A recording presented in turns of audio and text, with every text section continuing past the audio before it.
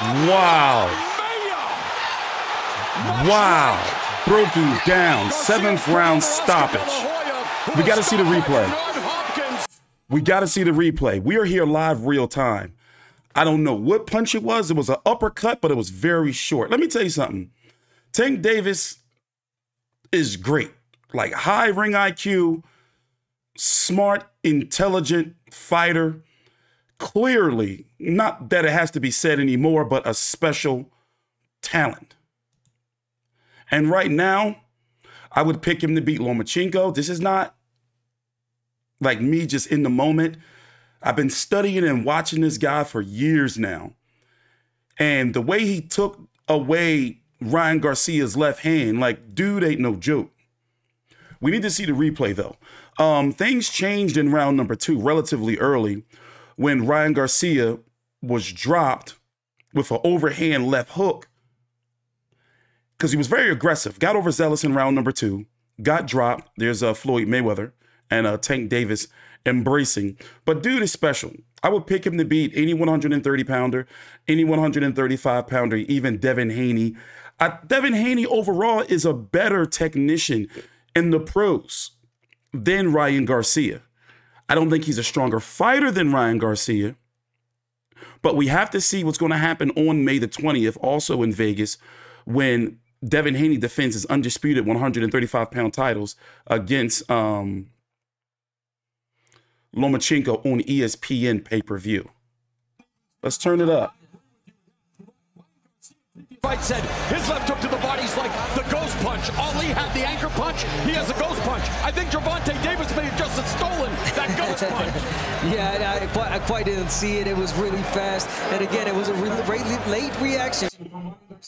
It was either a short uppercut, like to the body, but he's also leaking from the face. I wonder if it was upper.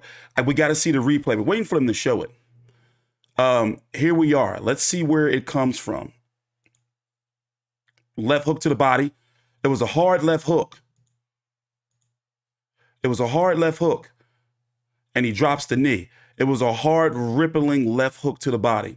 We're going to show you one more time. Of course, I can't show you the whole thing because Showtime be tripping. On my post-fight show, which is going to be the video after this, we're going to go into deep detail and actually slow it down. He could not move that body shot. And one thing I've noticed about Tank in this fight, I don't remember the last time we seen him going to the body as much. Here it is. Watch this. He ducks under. Mmm. Stiff. My favorite punch is the straight to the body, by the way. Floyd Mayweather, even though not Southpaw, had a beautiful one. Look, bent the knee. Let's see if we can get you one more uh, uh, slow down.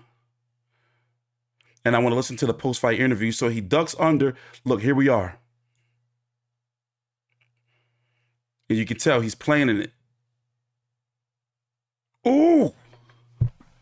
Yeah, that'll do it. Caved his shit right on in. And you can see Tank, you can see uh he's feeling it. Ryan Garcia's feeling it. Because he he makes a face and then he starts backing up. He could not get up. Oscar De La Hoya, uh, Bernard Hopkins. Well, he's not rolling around on the ground. Oscar De La Hoya was rolling around on the ground like damn near crying. Damn, Ryan. You know, maybe this is one of those fights where as he gets older, you know, um, he'll get better. And he did make some adjustments from not being able to find the left hand. He found it a few times, but he did make some adjustments. But still, Tank is just too good. And Tank just kept attacking the body. You know, the body shots he couldn't get away from, from the jab to the body, especially the straight. And you started noticing that he started two piecing them to the body. But here's how here's how I had to fight. Round number one was clearly a Ryan Garcia round, but they didn't really do anything. Tank, Tank was taking his time to fill him out. Round number two, Ryan Garcia came out very aggressive, but then got overzealous, got his ass knocked down. Clear round number three for Tank Davis. Clear round number four for Tank Davis. Clear round number five for Tank Davis. And round number six, Steve Farhood gave to Ryan Garcia because he landed a few um, uh, right hands. That was the adjustment round. But I still think that Tank did enough to edge that round. And then the round was, or the fight was stopped, or Ryan Garcia was stopped via body shot in round number seven. Let's look at the particulars here. Let's turn it up. Uh, here are the punch stats. I'm going to read them off to you. 103, 35 of 103 for Tank Davis, 39 of 163 for Ryan Garcia. It was very aggressive, especially the first and second round. But that clearly tapered off. Power shots, 30 of 63 for Tank, 24 of 57 for uh, Ryan Garcia. 15 of 106 for jabs for Ryan Garcia. 5 of 40 for uh, Tank Davis. That's according to uh, the show stats. But yeah, I wonder what Ron's going to do now. I mean, listen, Good shot. Let's turn it up. Let's listen in to the particulars. Take your time out. Like the video, subscribe. We're going to go into more detail on the post fight show. A referee in charge, Thomas Taylor, reaches the count of 10. He is the winner by way of knockout and still undefeated, Gervonta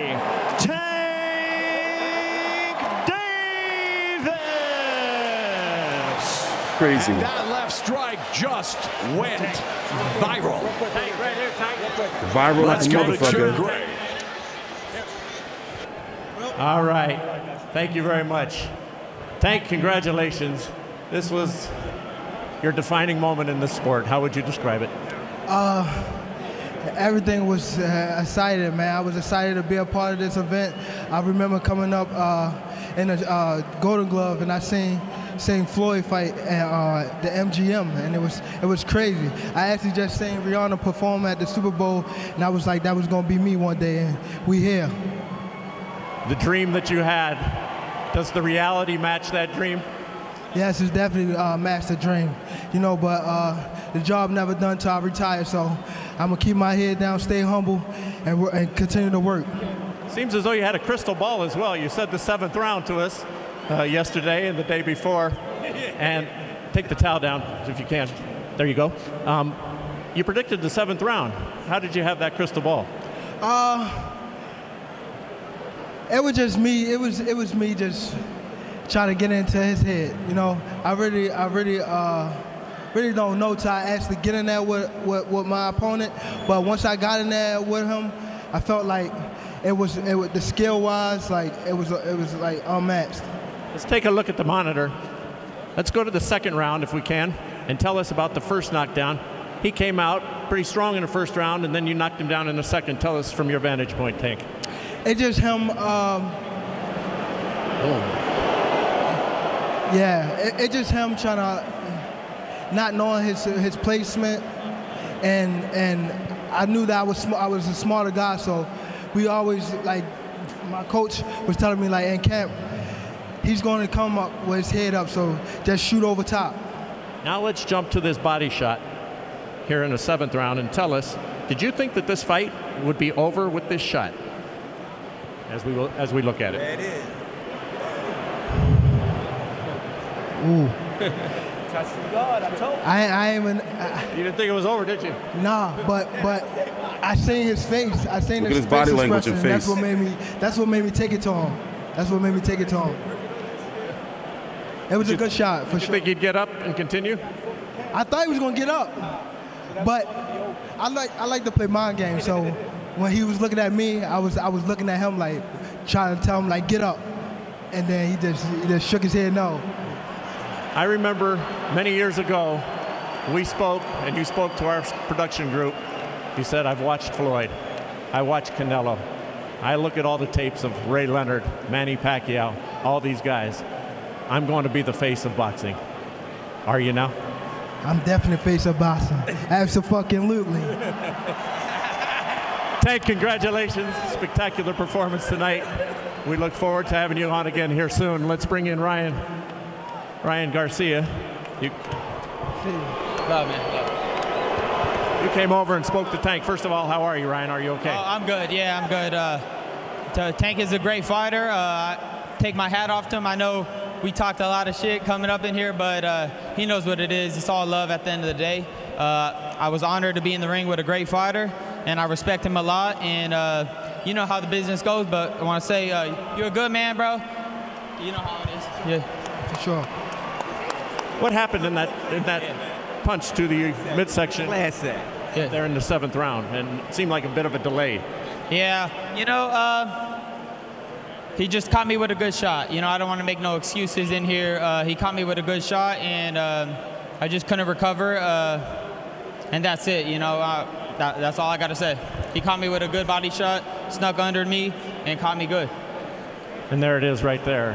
Did you think you were going to be able to continue, or uh, just Yeah, What, what was going on internally? Having trouble breathing? I'm not. I'm not saying nothing, but yeah, yeah, I couldn't couldn't breathe. Were you thinking about taking a knee initially, right there? Yeah, yeah, I was gonna get back up, but uh, I just couldn't get up. You came out really strong. You won the first round. I haven't seen the official card, but then in the second round, he caught you. Yeah. And you were coming in. Did that change the entire complexion for you and, and how you had to approach the fight? Yeah, I think I should have pressured him a little harder uh, near the ropes. I was giving him a little too much respect, and um, that, that was. I think that was my downfall. I think I gave him a little too much respect in the ring. Ryan, thanks for your time. You got a big you, future. Uh, Thank you. Appreciate it. Hey, no matter what, even if I lose, I want to say thank you, Jesus Christ, for all He does in my life. Jesus Christ. All right, Mauro, back to you, ringside. All right, thank you very much, Jim. A class act in defeat. Ryan Garcia. Well, so here's the good. I guess let's start with the bad. Politics. Tank Davis belongs to a heavy, uh, uh, uh, uh, heavy. I'm not saying that all promoters don't have their own politics involved, but Tank Davis is involved in a heavy political boxing landscape. That's no secret you know it's well known like it's not just me i'm not in the minority it's well known that pbc are heavy with the politics i want to see and it makes sense unless it's some fight with like keith thurman something like that that kind of was floated around out there a little bit i want to see tank davis versus the winner of devin haney vasil lomachenko which is going to be happen, happening a month from today, May the 20th, also in Vegas. Here's the good Devin Haney, if he beats Lomachenko, he's a promotional free agent. He went over, he left Matchroom to get the fights that he wanted. By the way, here's the uh, scorecards 58 56 for Davis, 59 56, 59 55. Those were the uh, scorecards. So, what I was saying is if Tank Davis, um, if Devin Haney beats Lomachenko, I don't think there's a rematch clause. He gets to leave. And in order to get the Tank Davis fight, he will likely have to sign with PBC for a two fight deal, maybe three. Um, Loma, if he wins, then Devin Haney, I'm pretty sure, has a rematch clause and he'll probably try to stay there. But right now, as I'm looking at the rankings, like, you know, tell me what fight makes the most sense. Like it's time to clear up this bullshit between 135 and um and uh 140. It's time to clear it up. You know, Teofimo, Josh Taylor, I plan on being in it at that fight. That's going to be on uh, June the 10th in uh, New York. I'm not, listen, I understand if it's a safe fight for Tank, but I don't want to see the Isaac Cruz rematch. I don't want to see a Rolly Romero rematch right now. The Shakur Stevenson fight, that's something to build towards, but I don't think we're going to get that right away. That's going to be a situation where, you know, kind of like Terence Crawford. You know, we're not going to see him versus Tank Davis as long as he's with top rank. And then he's with Jay Prince as well. That adds another political um, issue there. You got Frank Martin, PBC fighter. That's not a fight that really interests me yet. But remember, they can't really go backwards. Tank Davis can sell, but they can't go backwards. And the question I have is before we go, is how many pay-per-view buys do you think this fight's going to do? I'm thinking if you would have asked me a couple of weeks ago, I would have said 500,000. But now I'm thinking definitely a million. I'm not sure how much over a million because you can't underestimate the streamers.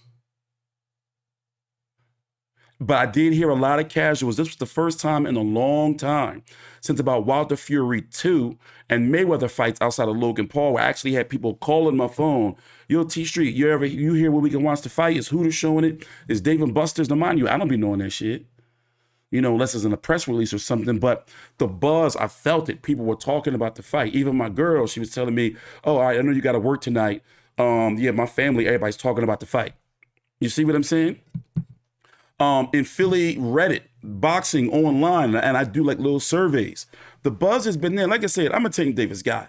You know, and a lot of people be scared to tell fighters or talk about like how it really is with fighters. Tank do be on some dickhead shit outside the ring. You know, but here's the thing. I really I, he's growing. You can clearly see he's growing and he's getting better on the microphone. I just wish that like, you know, like he understands like how special of a chance he has right now to be the face of boxing. There's some there, you know, he still has a ways to go because no sponsors and everything. But one thing for sure is he brings the people out.